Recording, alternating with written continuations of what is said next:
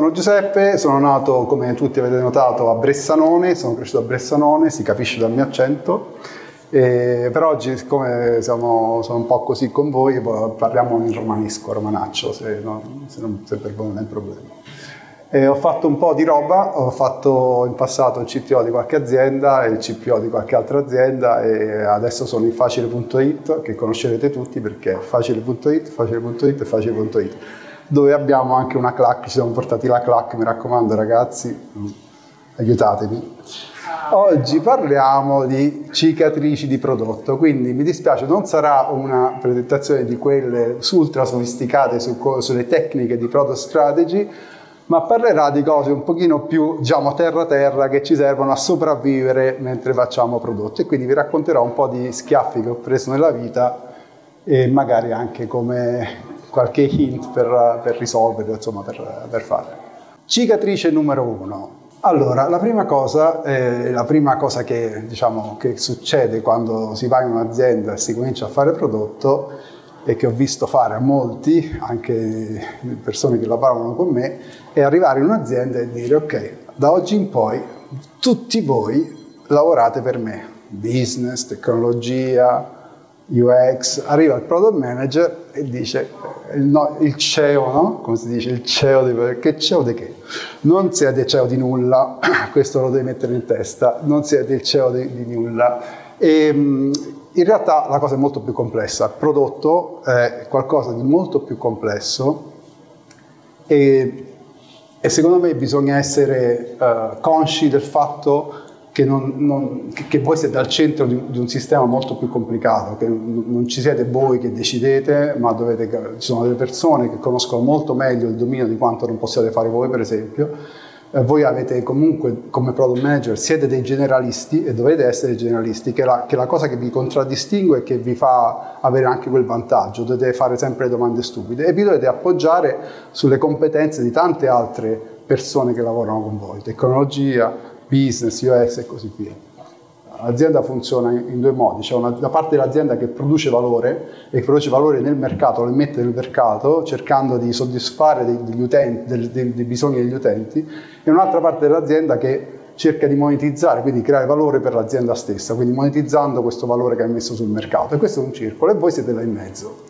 Essendo al centro di questo circolo, evidentemente capite da soli che non, non, non, non siete voi che decidete o che fate da soli, ma dovete essere quelli che coordinano gli input di una, una serie di funzioni e di una serie di competenze. Quindi mi raccomando, siate molto umili e cercate di gestire il vostro ego in modo tale che possiate recepire gli input degli altri e usare le competenze degli altri. Andiamo avanti. Seconda slide. Questa è una che ho imparato a mie spese e che i miei, qualcuno qui in questa, come dire, in questa audience probabilmente che sta ridendo adesso conosce e ha, diciamo, ha subito anche lui. Eh, quando andate in un'azienda o quando prendete il, dire, il, possesso di prodotto, di una linea di prodotto o comunque della competenza, dovete, come product manager, una delle vostre responsabilità è quella di comunicare e di comunicare all'azienda esattamente come avete intenzione di lavorare. Se non lo fate, quello che succede è che qualcuno ve la imporrà se voi non date chiarezza alla compagnia, alla, a tutta la compagnia, a tutta l'azienda, di come volete gestire, dove sono gli entry point, dove gli altri possono influenzare per esempio lo sviluppo del prodotto, dove si può intervenire, dove si possono raccogliere le informazioni. Se non dite banalmente ci vediamo ogni settimana qui e vi faccio la demo, se ci vediamo ogni mese in cui discutiamo uh, le priorità, i goal del prossimo trimestre o del prossimo mese, ci vediamo ogni due settimane per capire come vanno le KPI, le metriche rispett- che, sono, che fanno riferimento al goal che ci eravamo dati il mese scorso, l'azienda prenderà, o il CEO o qualcuno del business o un project manager qualunque, ho detto la parola project manager, attenzione, vi imporrà eh, una, una, governance, un modo di lavorare che non è il vostro. Quindi prima lo fate, meglio è. Non potete dare per scontato che, quest- che tutti quanti vengano dietro se non gli dite come devono partecipare a fare prodotto, anche loro. E una cosa molto importante è che dovete comunicare e dovete comunicare e dovete comunicare e dovete comunicare. Capito Raffaele? Eh, dovete comunicare, cioè è importante che voi capiate che una parte della, del vostro lavoro è quello di sync the people, come dice Lenny Racinski, no?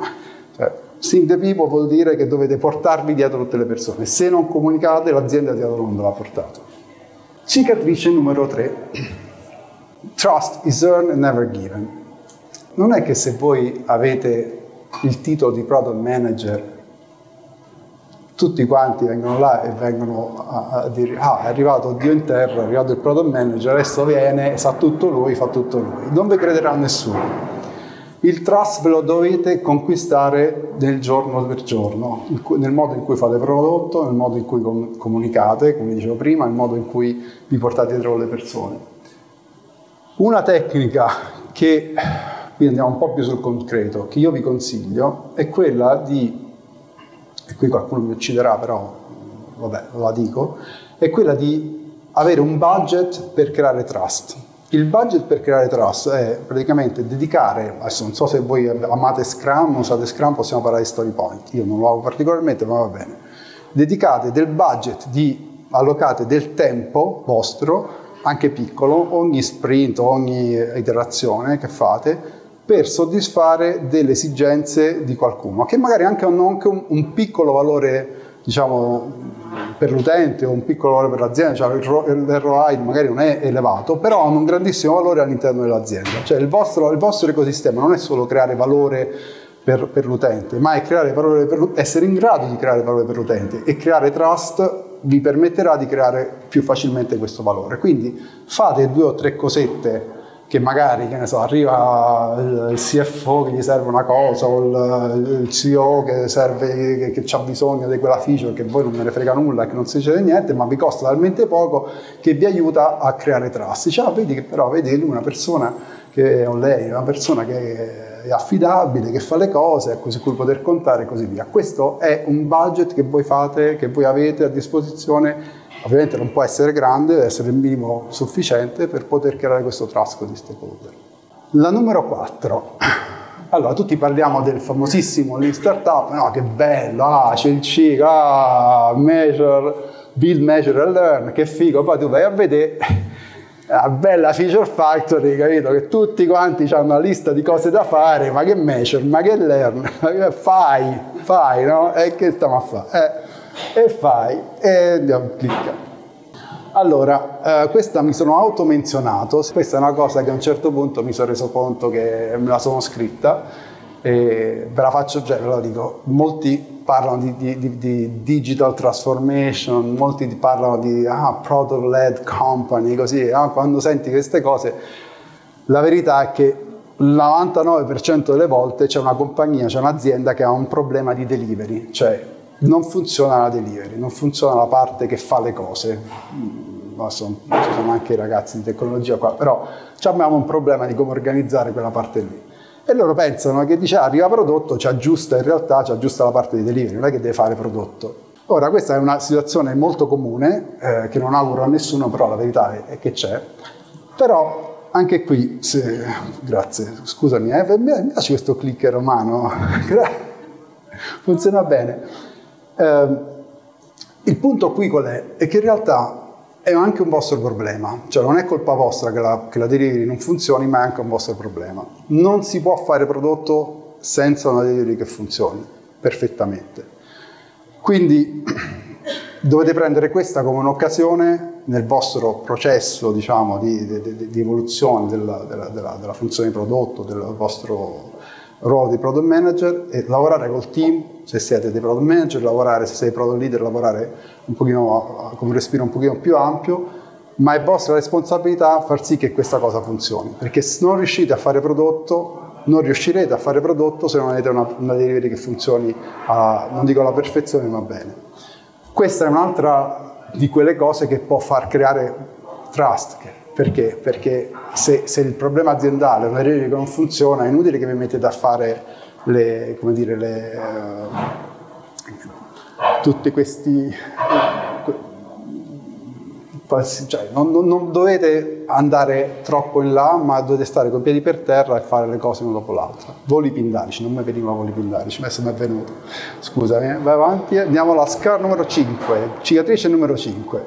Questa è un pochino relativa a, a questa, questa, slide l'ho rubata da, da una nostra amica precedente, una foto, eh, clic, questa è relativa un po' a quello che ci siamo detti prima. Questa è una, una, una una storia abbastanza, che si ripete abbastanza spesso riguarda il debito tecnico.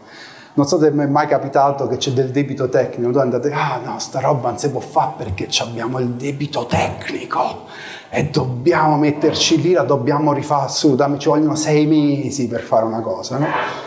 Allora, eh, il debito tecnico non è una roba di prodotto, cioè è una roba di tecnologia, no?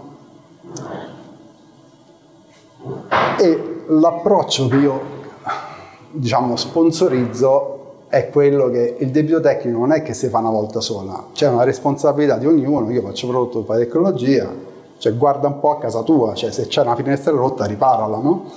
Cioè non è che io ti posso dire ogni volta di riparare, soprattutto io non è che ti devo dire ogni mattina lavati i denti, non so se avete letto quella che mi piace molto, eh, non, non, è che ci sta nel calendario lava dei denti o fatti la doccia, lo fai, punto, no? non è divertente, non è bello, lo sai che per non andare al dentista lo devi fare, no? cioè, e quindi questa cosa secondo me è responsabilità di tecnologia. Però c'è anche una, uh, c'è anche una, una responsabilità vostra che è relativa a quello che dicevo prima, cioè la delivery se voi non avete una delivery, cioè il sistema che dovete creare tutti insieme, insieme alla tecnologia e agli altri, è un sistema che crea continuamente un flusso di valore. Poi non dovete essere ossessionati da, dal sistema stesso, ma dovete essere ossessionati dalla creazione del valore come product manager. Il problema è che se non avete la delivery che funziona, questo valore non esce mai, rimane sempre incallato. Quindi non, siete, non è roba vostra, ma comunque dovete capirlo, dovete sostenere nel caso dovete anche allocare un po' di tempo e di amore a questa cosa.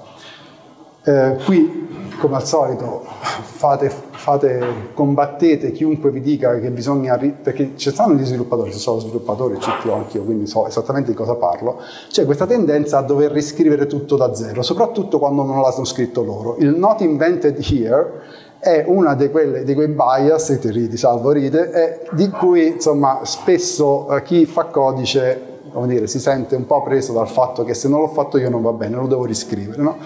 Questo voi dovete un po' combatterlo e aiutare i ragazzi a capire che si può fare un po' alla volta sta cosa e non spendere un anno a fare il nulla. Andiamo avanti. Cicatrice numero 6. Ah, questa è bellissima. Allora, questa è un pochino più complessa. Ci sono delle situazioni in cui ci sono delle dipendenze. Quindi tu dici, ah guarda, ho un prodotto fichissimo, no? Però questo prodotto, comunque un'idea di prodotto, una feature nuova e così via.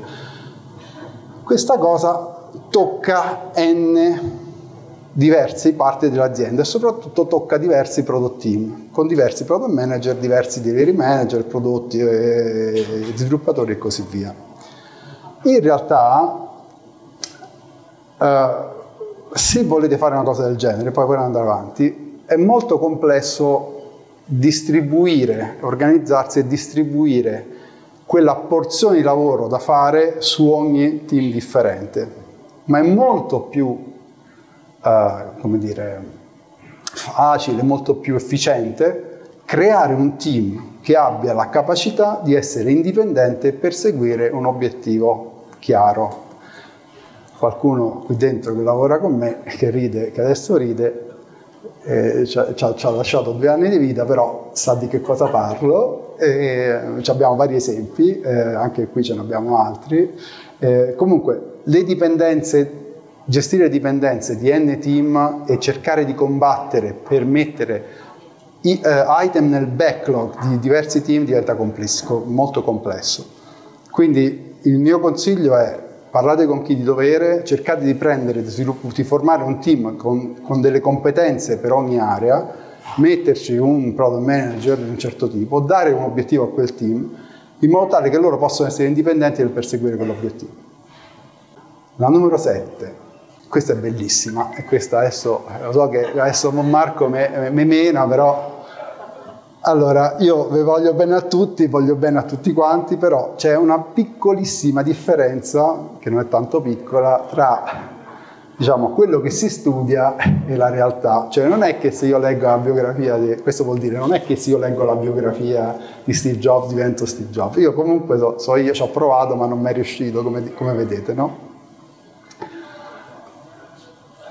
La raccomandazione, io capisco che c'è l'hype del product management e tutto quello, però la raccomandazione è che dovete essere molto, come dire, smart, molto intelligenti, molto down to earth, cioè molto presenti a voi stessi e capire da quello che imparate dalla letteratura, che sono concetti bellissimi e, e, e assolutamente validi, quali sono i principi da tirar fuori e come applicarli in determinati contesti.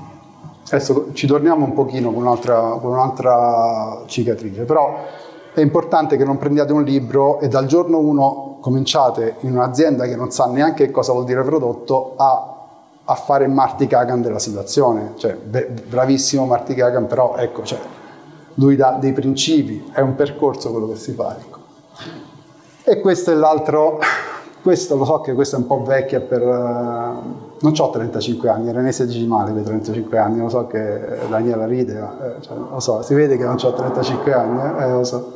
Quel film è, è importantissimo perché in, insegna che cosa vuol dire fare uno step alla volta, fare il kata, il kata cioè, avere, anche non capire cosa sta facendo, ma allenarsi, eh, cercare di diventare sempre più bravi e poi passare allo step successivo e capire esattamente e fare lo stretch e andare e complicare un po', andare nel, nel livello successivo di complicazione.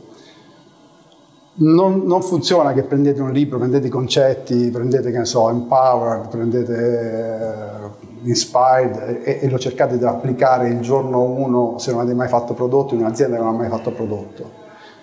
Bisogna partire dalle basi, dalle cose più semplici e giorno dopo giorno cercare di arrivare a quel livello di sofisticazione. La numero 9, abbiamo quasi finito, adesso sono solo 152, quindi cioè, avete tutta la sera, avete mangiato? No, eh lo so. Questo è un altro esempio di che cosa? Gli OKR, questo è un altro hype bellissimo, gli OKR, Google gli OKR, che figata, andiamo a fare tutti gli OKR, diventeremo tutti Google. Eh, buona fortuna. Cioè, voglio vedere, io ho visto gente piangere, gente che stava mesi dentro a scrivere OKR su OKR. Cioè, dici che cosa hai fatto questo mese? Ho fatto gli OKR. Eh, eh, però hai creato valore? No, però c'ho un OKR bellissimo.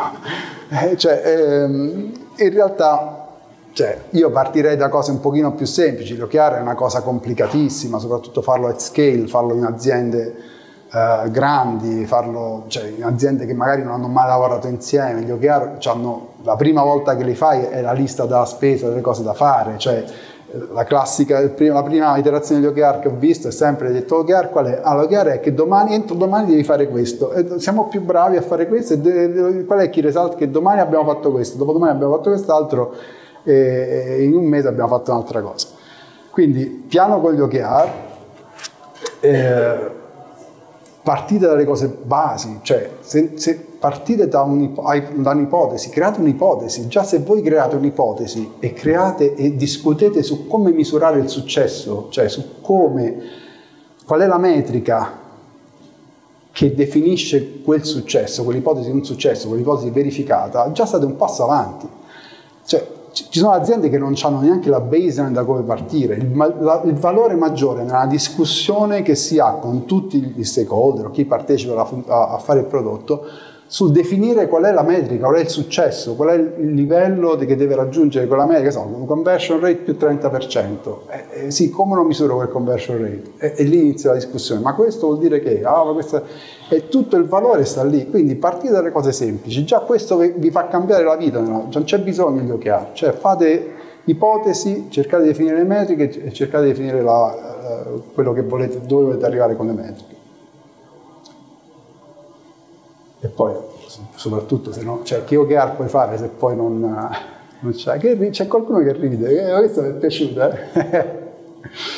Uh, no, dicevo, cioè, gli OKR, se tu non misuri nulla, cioè, gli OKR che sono key results diventa difficile. Questo è, questo è divertente, questo è un po' complicato però, un po non so se chi di voi ha avuto mai a che fare col budget, col processo di budget. Nessuno? Ok. Chi di voi ha mai avuto, si è trovato nel processo di budget a un certo punto c'era un'iniziativa che in quel preciso mese, in quel preciso giorno del mese portava un, un uplift di, so, del 20% dei revenue o di qualsiasi cosa? Nessuno ha avuto questa, eccola. E poi dopo lì a rincorrere dice ma come hai fatto? Allora la verità è che quando si fanno queste trasformazioni digitali e comunque di product development, il problema più grosso è la parte finanziaria, cioè il processo di budget Qui dovete essere molto attenti, dovete andare dal vostro capo, da voi stessi, dal CFO e dite sediamoci un attimo a tavolino, fammi vedere che cosa hai fatto, così non ho delle sorprese e fatemi capire se nel budget che hai fatto ci sono delle assunzioni calate dal, da, non lo so, che venute fuori dal nulla, che mi costringono poi a non fare prodotto ma a fare project management per poter arrivare a quella cosa che poi Ovviamente non si verifica come tutti i budget, perché i budget annuali, a meno che non hai una palla di cristallo, sono un po' così. Perché manca un pezzo? Ecco, vabbè, questo però ce lo siamo detti.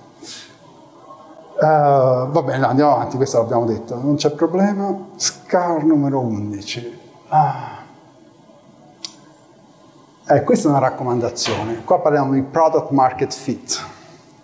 Product market fit. Allora, um, il product market fit è, non so, vorrei parlarvi di facile, che ha, che ha raggiunto il product market fit facendo la comparazione di assicurazioni online, al telefono vorrei dire più che online, però insomma online. Questo è un product market fit che ha creato tantissimo valore, uh, facile un'azienda di successo, ma quel product market fit non è che rimane lì se non fa niente, quel product market fit per, per condizioni di mercato, per competitor, per cose, comincia come dire, a, ad assottigliarsi, ha bisogno di amore. Eh, quindi è vostra responsabilità capire come quando farete la vostra product strategy, capire come eh, diciamo, bilanciare le iniziative che servono a difendere quel product market fit, che servono a capire come non perdere il competitive advantage che avete già trovato, rispetto a iniziative che invece sono pochino più offense, cioè che portano avanti l'azienda e che uh, danno, creano il next uh, competitive advantage. E qui ovviamente dipende, non c'è una regola, dipende dalla situazione dell'azienda. Se l'azienda è super, cioè, super uh, perfetta, la tecnologia che c'è dietro è top notch, uh, le feature uh, che abbiamo sul prodotto sono, sono immense, funzionano da Dio, la user experience è fantastica e non c'è bisogno di attaccarla, allora c'è anche più spazio per mettere la parte di offense. Se vedete che l'azienda ha un debito tecnico infinito che non vi permette di fare prodotto, eh, che ha una user experience che fa qua da tutte le parti, i processi sono, sono tutti manuali e così via, e vedete che ci sono dei competitor che avanzano e stanno mangiando il vostro piatto, forse vi conviene essere un pochino più sulla difensiva e cercare di, di riprendere, di difendere il vostro product market fit corrente, che è quello che paga poi gli stipendi dell'azienda, perché quella è una scommessa no? sull'offense. Andiamo avanti. Numero 12, ci siamo quasi, eh? ancora 172 e abbiamo fatto. Allora, questa è un'altra molto interessante, qui, eh, questa soprattutto per ragazzi di facile, eh, forse non so se l'hanno capita, avete capito? So. Allora, eh, molti, molte cose che vedo, cioè molte cicatrici che ho, eh, sono dovute al fatto che spesso io pensavo che di fare un prodotto e dici vabbè, ho fatto questo prodotto e agli utenti gli piacerà perché è figo, l'ho fatto io, cioè abbiamo fatto insieme agli altri, eh, ti pare che mo non vola questo prodotto? La verità è che tu puoi fare tutti i prodotti che vuoi, ma se non lo comunichi e se non c'è un piano per fare l'adoption di questo prodotto, non va da nessuna parte. Quindi che mi piaccia o no, lo so che poi eh, c'è il product, product manager, product marketing manager e così via, c'è sempre questa storia tra marketing e prodotto, però che vi piaccia o no, con marketing ci dovete parlare. Ci dovete parlare e dovete avere una strategia di, uh, no forse così meglio che non mi ci metto, non accado, eh, eh, una strategia di uh, go to live, eh, dovete andare, dovete andare, dovete far sì che questa strategia di crescita ci sia. Quindi parlate con i vostri amichetti, andiamo avanti, di marketing e cercate di definire come volete comunicare al vostro, sperando che abbiate un customer segment target che, che dovreste avere perché se non avete, non avete, fatto un buon prodotto, se non avete in mente a chi, a chi lo volete vendere, um, parlate con i vostri amici di marketing se avete, cioè se ce l'avete, se non ce l'avete fatelo voi insomma. Allora, un'altra grandissima... Eh, è scappata, cioè, ieri ci ho pensato, forse la tolgo, invece no, ce l'ho lasciata, eh, l'ho dimenticato di togliere. Eh, no, questa in realtà eh, parla di, uh, di, un errore che anch'io ho fatto spesso, che non ho mai, no, cioè non ho mai, no, in alcune occasioni non ho valutato bene quale fosse la, la, la grandezza dell'opportunità, cioè la dimensione dell'opportunità. Ci sono delle tecniche molto, molto, bar- cioè molto semplici che servono a capire se quando deve priorizzare una cosa, quanto questa cosa abbia impatto o meno, soprattutto quando si tratta di nuovi prodotti o nuovi uffici. Cioè, io ho visto spesso, anche in facile, parlare delle, di, di, di, di, alcuni prodotti nuovi che stiamo facendo e le, le discussioni, nelle discussioni mancava una cosa di base che, che è calcolare il mercato. Cioè, Uh, il, il, TAM, il SAM e il SOM sono, sono dei concetti, total addressable market, serviceable market, addressable market e obtainable market, sono dei concetti anche abbastanza facili che, che hanno bisogno di un pochino di impegno per cercare le informazioni ma almeno vi aiutano a capire se sta roba ha un mercato, ci potrebbe avere un mercato o no. Io ho visto fare investimenti su, su, sulla base del nulla e poi dici, ah, ma forse sono solo tre gli utenti in, tutto, in, tutta Italia, in tutto il mondo che potrebbero beneficiare. Ah, ci abbiamo investito solo tre anni per fare contenti tre utenti. Cioè, queste cose, ecco, magari se lo facciamo prima non sarebbe male. Vi piace il mio accento altoatesino? Se volete posso passare all'abruzzese. Cioè, che pratico a fare, però purtroppo, ragazzi, lo so, è molto base questo, questo, talk, vorrei farlo un pochino più sofisticato, però la verità è che il 90% del vostro lavoro, delle vostre giornate le passate a gestire queste cose. È buona fortuna trovare un po' del market fit parlando senza parlare con gli utenti e, e purtroppo la verità è che ci troviamo spesso a fare cose perché ci ha detto il CEO, perché piacciono al CEO, perché piacciono a noi, perché la moglie del CEO, la fidanzata, il cugino della donna di servizio, del, dell'uomo di servizio del, del, del, CEO ha detto che c'era questa cosa che è importante e quindi tutti a fare questa cosa perché se l'ha detta lui. Una volta eh, mi chiamò diciamo, un amico del padrone dell'azienda dove lavoravo che faceva, guarda caso, il CEO di una grandissima banca italiana, mi chiamò al telefono perché a lui nell'applicazione c'era una cosa che non gli tornava, agli ordini però insomma, cioè, diciamo che era un po' un use case molto particolare. Ecco. Però io vi, vi, vi consiglio di, fare, di, parlare con gli utenti, di fare, di, di fare quello che si chiama continuous discovery, che è un concetto di Teresa Torres, che potete tranquillamente vedere su internet o leggere, comprare il libro. Ma a prescindere da quello che c'è scritto nello specifico da Teresa Torres, l'idea è quella di, continu- di avere un, il team che, o che, che veramente parli con gli utenti, che se avete dei negozi che mandate mandare in negozi, avete call center, mettetevi in cuffia e, e, e sentite quello che vi dicono, se avete online ci sono tonnellate di possibilità per farlo, da Hotjar a, a qualsiasi tool di product analytics, insomma fate anche dei survey, fate dei, dei, degli usability test, fate dei focus group, fate quello che vi pare, però insomma ci dovete parlare con gli utenti. Gli utenti sono quelli che vi dicono se state facendo qualcosa di giusto o sbagliato. Parlo della parte qualitativa, ovviamente poi c'è la parte quantitativa che vi dà un altro tipo di, eh, diciamo, di informazioni, però in questo caso parliamo di quella più, che, più qualitativa che altro. Eh, questa purtroppo ce l'ho messa perché alla fine ho dovuto togliere quella, ci ho messo questa qui perché secondo me è importante. E questa non c'entra niente col prodotto, questa c'entra con la vita, secondo me. Per fare prodotto è fondamentale creare un certo tipo di cultura. Poi vai avanti. Il, la cultura è la cultura che è descritta molto bene da Carol Dweck, che vi consiglio di leggere, che parla di growth mindset e ha a che fare un po' con quello che ci siamo detti all'inizio, che era quello di avere ego, no? cioè di non avere questo ego così forte. Questa, non so se conoscete Carol Dweck, è quello che dice sulla growth mindset, eh, era una psicologa che ha fatto, scritto un, ha fatto uno studio molto importante sui bambini e poi l'ha, l'ha esteso agli adulti e ha definito i tratti caratteriali di un approccio fixed mindset e growth mindset. Growth mindset sono quelle persone che vedono sempre un'opportunità nella difficoltà, che non si frustrano quando ci sono cose che non riescono a fare, che hanno un'attitudine, quando vedono qualcuno avere successo non sono invidiosi ma dicono ah cavolo ce l'ha fatta, ce la posso fare anche io, quando, che dicono sempre non ce, non ce l'ho fatta ancora, che riprovano a rifare, che cercano di imparare dai propri errori, che non vedono un fallimento ma vedono un'opportunità di crescita di learning e questa cosa se, per fare prodotto è fondamentale perché il 90%, il 90% delle volte prenderete schiaffi dai vostri utenti, da, dalla, dalle vostre idee, pensate di avere le soluzioni, in realtà probabilmente sarete, se siete fortunati, se avete tra il 10 e il 20% di successi delle cose che proverete a fare.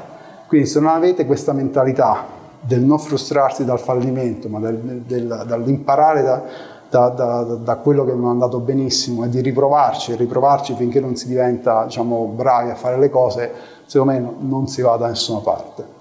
Benissimo, quindi ho tagliato le ultime 150 slide e arriviamo al wrap up. Wrap up. Quindi comunicate, comunicate, comunicate